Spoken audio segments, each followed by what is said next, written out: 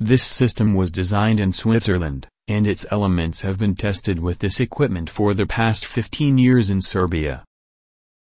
We can see here a large number of mirrors which focus solar radiation into this mass of stones. Therefore, the stones are gradually heated by the radiation to approximately 1000 degrees Celsius during the summer and keep this temperature for several months in order to use the thermal energy in the non-solar winter.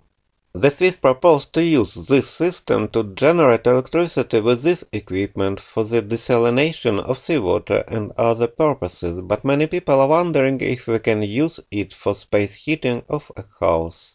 This system produces too much energy, enough to heat a dozen houses. Therefore reduce it to this diameter, 17 meters, so that the system can heat a house in cold and non-sunny Sweden with solar energy alone, without natural gas, without electricity or other energy sources. How this heating will be carried out was described in my other video, the link to which is below.